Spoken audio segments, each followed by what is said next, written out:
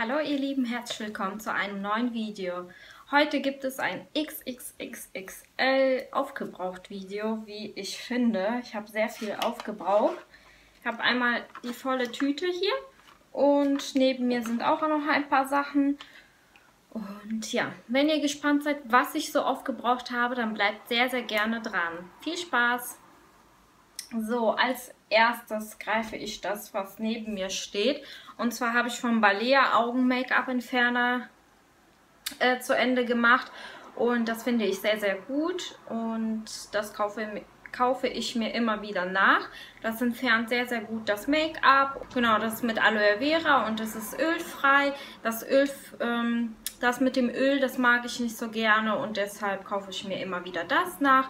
Damit bin ich sehr, sehr zufrieden. Das entfernt auch ähm, meine Wimperntusche und alles. Da ich auch keine wasserfeste Mascara benutze, reicht das auf jeden Fall aus. Als nächstes habe ich hier von Lenore Weichspüler dieses Hypoallergen und zwar sensitiv. Und das hatte mir sehr, sehr lange ausgereicht für eineinhalb Monate, glaube ich, hat das ausgereicht. Und das roch auch sehr, sehr gut. Ich war damit sehr zufrieden. Die Wäsche roch auch danach sehr, sehr gut. Ja, das riecht sehr, sehr frisch. Das hat auch ein bisschen länger auf der Wäsche angehalten und ist jetzt aufgebraucht. Da habe ich auch keine bestimmten Weichspüler. Da benutze ich, worauf ich Lust habe. Da kaufe ich mir keine bestimmten nach. Dann einmal von Sanft und Sicher, Scherlauf, die Popotücher sind aufgebraucht und die sind sehr, sehr gut. Die riechen auch sehr gut. Genau, und ähm, da hatten wir die gelben und die haben mir nicht so gut gefallen. Die sind auf jeden Fall sehr gut. Dann von Nivea sanfte Rasur, die drei Rasierer. Und ich kaufe mir meistens immer die hier, da die fünf Klingen haben und die anderen meistens drei oder so beim DM und das sind glaube ich die einzigen, die fünf Klingen haben. Ich bin mir jetzt gerade gar nicht sicher, aber ich kaufe auf jeden Fall immer die nach. Ähm, da habe ich jetzt noch die letzte in der Dusche liegen und danach habe ich das von, ich weiß es gerade gar nicht, von Gillette oder so. Nee, nicht von Gillette. Äh, dann hatte ich auf jeden Fall zwei Rasierer von der Glossy Box. Keine Ahnung, die muss ich auch mal testen und danach kaufe ich mir wieder die nach. Dann eben noch benutzt von Biore eine Maske. Das ist die schwarze Maske, also schwarz, also die war grau, ne? dunkelgrau. Und wenn man die aufträgt, ist das, wird das so ein bisschen warm. Und da habe ich die verwendet, weil ich momentan irgendwie zwei Pickel habe und dann dachte ich, benutze ich die mal, weil ich kannte die auch vorher gar nicht und die war jetzt in der Glossy Box drin und ich fand die sehr gut. So, jetzt kommen wir zu der Tüte. Da habe ich eine Bodycreme ähm, von Sa Sascha Inchi oder so verwendet und die roch sehr, sehr gut nach Kokosöl.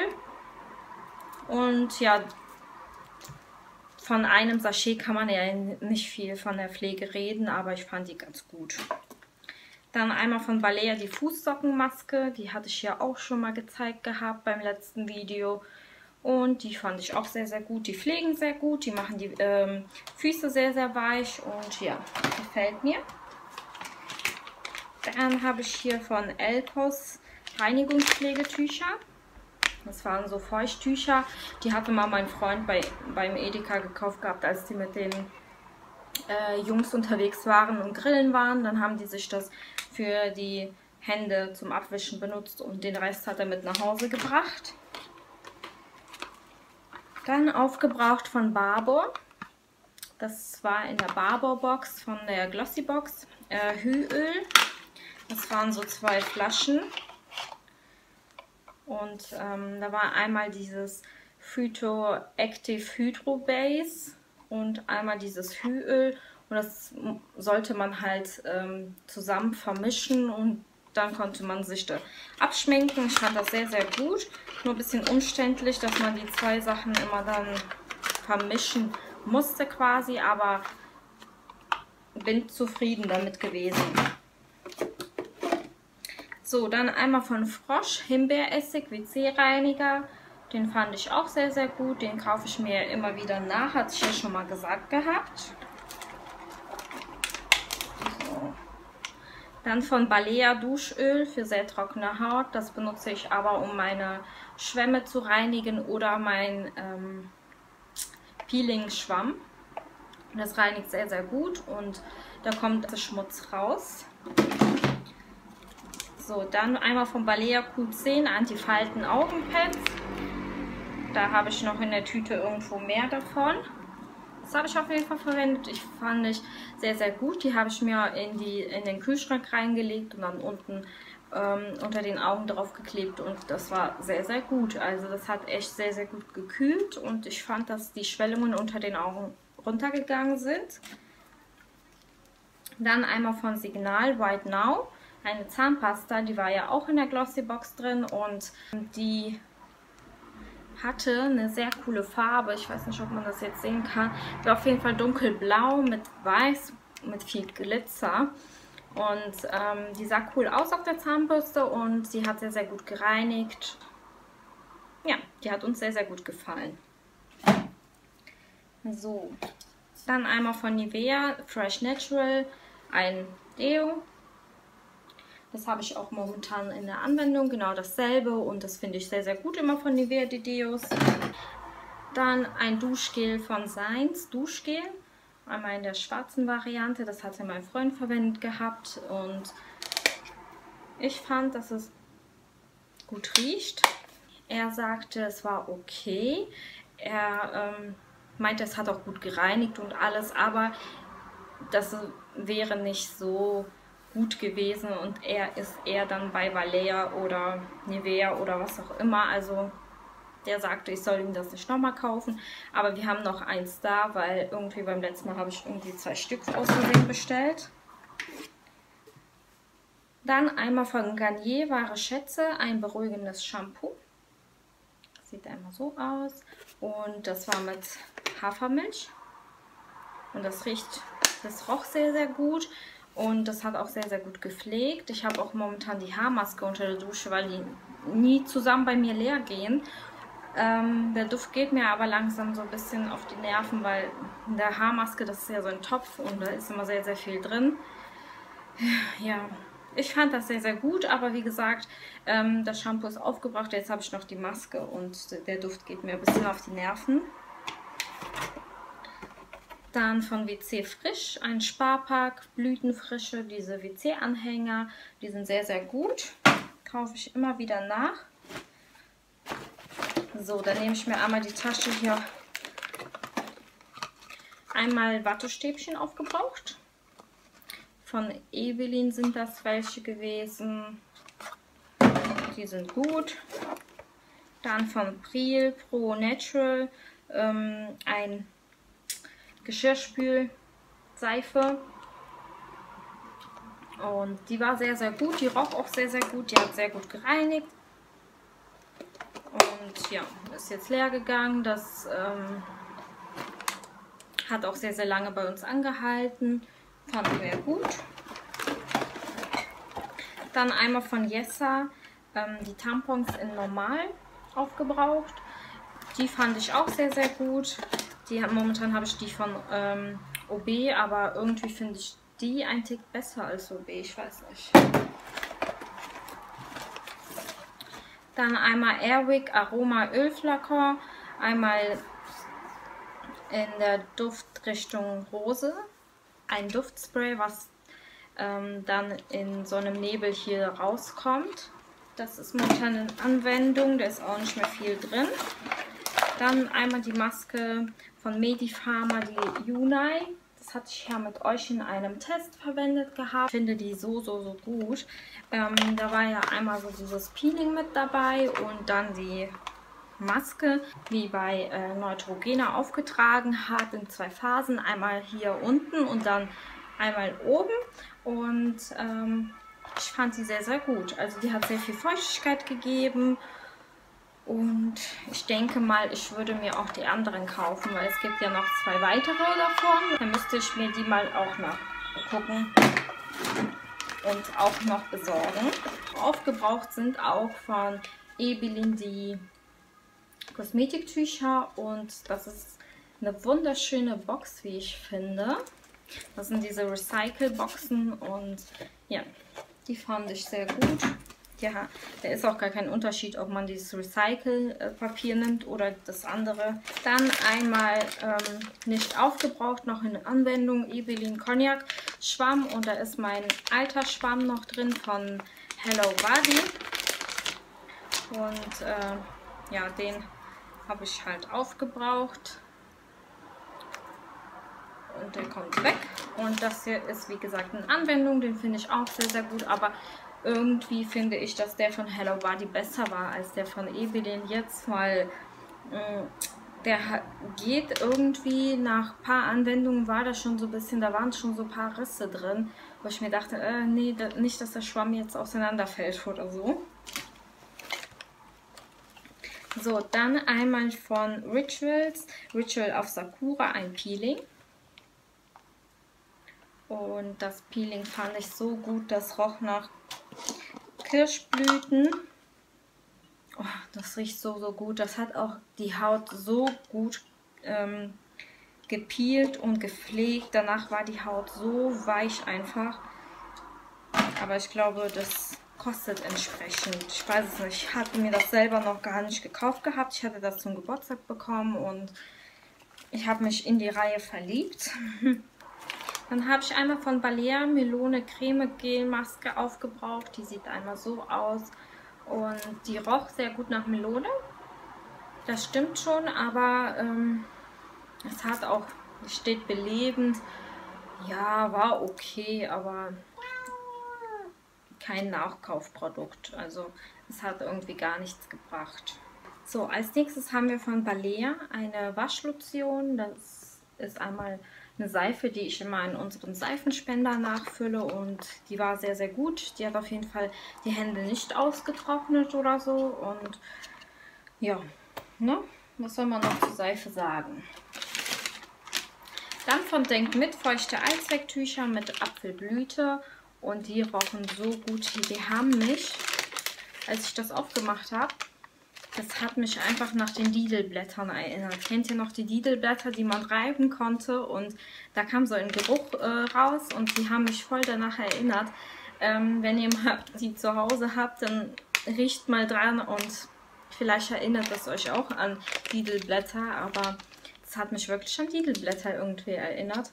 Und ähm, die fand ich sehr, sehr gut. Die benutzen wir ab und zu mal, wenn wir den Tisch kurz sauber machen wollen. Oder unsere Katze macht ab und zu mal Blödsinn und ähm, da benutzen wir gerne sowas. Aufgebraucht ist auch nochmal von Balea ein Rasiergel ähm, Peach Love. Sieht da immer so aus. Ja, meistens äh, beim Rasieren benutze ich Rasiergel. Das mag ich am meisten, wenn ich mal Schaum zu Hause habe, also Schaum, Duschschaum, benutze ich das auch zum Rasieren. Wie gesagt, ich mag keinen Duschschaum ähm, allgemein zum Duschen und dann verwende ich das immer zum Rasieren. Ähm, aber das am meisten mag ich Rasiergel, weil Rasiergel finde ich äh, ist besser beim Rasieren als Rasierschaum. Und das roch auch sehr, sehr gut. Und jetzt ist das leer. Dann einmal nochmal die Q10, die Augenpads. Wie gesagt, ich fand die sehr gut. Dann habe ich hier, das gehört jetzt ähm, hier zwar jetzt nicht zu, aber einmal ein Tee, den ich euch zeigen wollte, der sehr, sehr gut ist. Mango Zitrone von Teekanne. Ich fand den so lecker und wollte euch den einmal zeigen, falls ihr mal Tee mögt, genauso wie ich, dass ihr euch das mal auch beim DM da, ähm, anschaut. Habe ich mir auch beim DM mal bestellt gehabt. Der ist sehr, sehr lecker. Einmal von Disney eine Tuchmaske mit Mandelöl und Panthenol von Minnie Maus. Minnie Maus liebe ich sehr, sehr, sehr.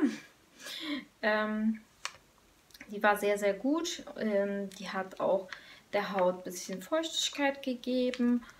Ich fand die ganz okay. Es gab auch noch eine andere Edition davon, eine schwarze, die hatte ich schon vorher benutzt gehabt und die schwarze fand ich nicht so gut. Die war okay, aber auch jetzt nicht der Knaller, ne? Also ich würde mir die jetzt nicht nochmal kaufen. Ich habe mir die jetzt extra wegen der Minnie Maus gekauft, sonst hätte ich mir die gar nicht mitgenommen.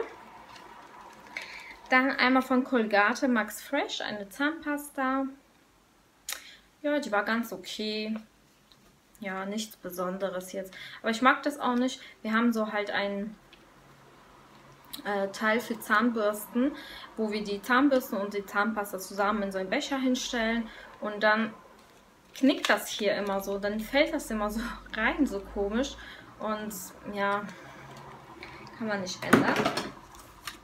Dann einmal äh, von Bandini eine Body Lotion, die war auch mal bei ähm, der Glossy Box dabei, die war sehr, sehr gut, die roch sehr gut, die habe ich glaube ich auch in groß zu Hause, bin mir gerade nicht sicher. Aber die, von Bandini, die Sachen riechen sehr, sehr gut. Dann einmal von Isana, diese Beauty-Kapseln. Wenn ich mal bei Rossmann bin, dann kaufe ich mir die immer wieder nach. Die sind mit Arganöl und Ingwer-Extrakt. Ich finde, dass die ein bisschen Farbe auf die Haut bringen und ich mache mir die ähm, drauf und ich finde, dass äh, das Gesicht ein bisschen Farbe abbekommt. Und ja, die kaufe ich mir immer wieder nach, wenn ich beim Rossmann bin. Ist einmal von Palmolive eine Cremedusche. Die war auch mal in der Glossy Box mit dabei. Und die roch nach Rose. Die roch sehr, sehr gut. Hat mir auch sehr, sehr gut gefallen. Und ja. Dann aufgebraucht ist von Barbo die Mascara. Und ähm, ich fand die sehr, sehr gut. Die hat wunderschöne Wimpern gemacht, keine Frage. Das Bürstchen einmal. Am Ende kam jetzt sehr, sehr viel Produkt raus und das hat dann gekrümmelt. Deshalb ist die für mich jetzt aufgebraucht. Und die hat sehr, sehr gute Wimpern gemacht, keine Frage. Ich habe die auch bis zum Ende aufgebraucht, aber an manchen Tagen, ich weiß nicht, ob es an der Mascara lag oder ob allgemein ich Allergie hatte, meine Augen getränt haben und wenn ich mich abgeschminkt habe, dass meine Augen so gejuckt haben und ich weiß nicht, ob es an der Mascara lag oder allgemein, dass ich halt dann Allergie hatte, das weiß man dann nicht. Aufgebraucht ist von Hello Body Sarah's Choice einmal das Reinigungsöl und das ist, da sind sehr viele Haare dran, tut mir leid. Aber ja, aufgebraucht ist das Öl und das war sehr, sehr gut. Das roch nach äh, Kokos, Kokosöl und ähm, Mandelöl. Ich fand das sehr, sehr gut. Das hat sehr, sehr gut abgeschminkt. Ich kam zuerst damit nicht klar. Hatte ich, glaube ich, schon mal erzählt im Hello Body ähm, Video. Ich kam erstmal damit nicht sehr, sehr gut, äh, kam erstmal damit nicht klar, weil ich mir das auf ein Wattepad gemacht hatte und ähm, dann auf die Augen und dann konnte ich mich nicht sehr gut damit abschminken. Ich weiß nicht, ich kam damit nicht klar. Und als ich das dann auf meinen Peeling-Schwamm gegeben habe, fand, fand ich das sehr, sehr gut, dass es sehr, sehr gut abgeschminkt hat und dass es auch in den Augen, wenn es in die Augen gekommen ist, dass es dieses ölige ähm, dieses ölige Gefühl nicht hatte. Kennt ihr das, wenn ihr euch mit Öl abschminkt, dann kommt das in die Augen, dann seht ihr nichts und so. Bei dem fand ich, dass es nicht so war. Vielleicht ein klein wenig, aber ne? Ich habe gerade momentan eins von Lovely und das finde ich so schlecht. Also, ja, ich weiß es nicht. Das, wie gesagt, das kommt immer, wenn das in meine Augen kommt, dann ist das, dann sehe ich erstmal völlig gar nicht. Ich muss erstmal meine Augen auswaschen und bei dem war das halt nicht so. Und wenn ich dieses Lovely aufgebraucht habe, werde ich mir das auch nicht nochmal holen. Aber das fand ich sehr, sehr gut. Dann einmal hier das Rosenwasser aus das roch sehr, sehr gut aus einem türkischen Laden. Sah einmal so aus. Das war ja dieses Fake zu Rosens Rosenwasser. Das habe ich jetzt aufgebraucht und das Rosens Wasser habe ich auch jetzt da. Dann einmal von meinem Freund Seins Duschgel. Das einmal in einer Mini-Version in weiß. Das hatte ich mal bei einem Douglas-Bestellung gratis mit dabei gehabt und das fand er ganz okay. Aufgebaut sind nochmal die Popo-Tücher von Sanft und Sicher Shea Love.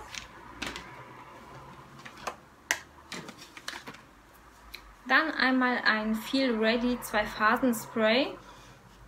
Das ist einmal auch in der Glossy Box gewesen und das ist ja wie Gliskur, dass man sich in die Haare nach dem Duschen reinsprüht, dass man die besser kämmen kann.